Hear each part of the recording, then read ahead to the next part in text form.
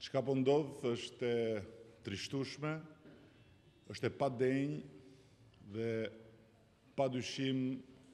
është e pamerituar për shqiptarët dhe për Shqipërinë. Unë jam këtu për të përsëritur të njëjtin qëndrim të qartë dhe koherent të Partisë Socialiste në funksion të interesit kombëtar. Ky është një proces që po degradon hap pas hapi dhe po rrënon më shumë akoma besimin e qytetarëve tek parlamenti.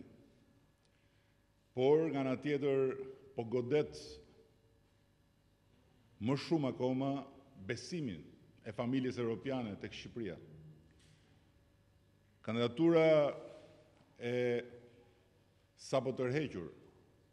ishte një kandidaturë që ne e refuzuam sepse nuk ishte asnjë mundësi për plot arsye që ne të jepnim mbështetje. Por Kriza po thellohet dhe unë e përsëris, një krizë është edhe një mundësi, është edhe një shans për të dalë prej saj përmes një hapi të ri në drejtim të kundërt me inercinë e krizës. Është e paarsyeshme dhe është krejt kundërproduktive që të kalohet ende më poshtë dhe që spiralja e krizës ta përpijë tërësisht atë çka ne jemi të angazhuar qysh në krye të herës për të shpëtuar mundësinë e Shqipërisë që ta hedhë hapin drejt familjes europiane dhe shansin që shqiptarët të mund të gëzojnë për njëqindvjetorin e pavarësisë të qenurit pjesë më pranë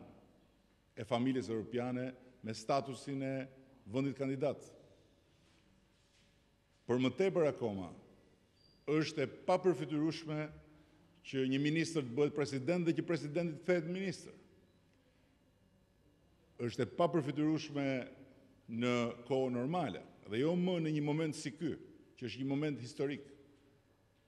delikat dhe që dikton në emër të interesit kombëtar dhe të ardhmërisë europiane të Shqipërisë, domosdoshmërinë që përfaqësuesit e popullit shqiptar në Parlament të vënë interesin e njerëzve dhe atdheut tonë të përbashkët mbi çdo interes pale, si mund të kalohet drejt një kandidature e cila është tërësisht mishërim i një pale të vetme, si mund të imponohet një kandidaturë që nuk përfaqëson Asgjë më shumë se sa Partinë Demokratike dhe nuk përbën asnjë lloj baze për të krijuar kushtet për konsensusin më minimal, e jo më për konsensusin maksimal, që është gjëja që ne vazhdojmë të kërkojmë, jo për interesin e Partisë Socialiste, as për ndonjë përfitim politik të opozitës, por për interesin kombëtar dhe publik në këtë moment kaq të rëndësishëm. Ne besojmë se nëse ka vullnet të mirë dhe nëse ka dëshirë për ta parë në sy të vërtetën e madhe të Shqipërisë Në këtë moment është e mundur të gjendet një zgjidhje. Një zgjidhje e cila duhet të jetë konsensuale. Një zgjidhje e cila duhet të jetë produkt i bashkimit të energjive pozitive të të gjitha palëve në funksion të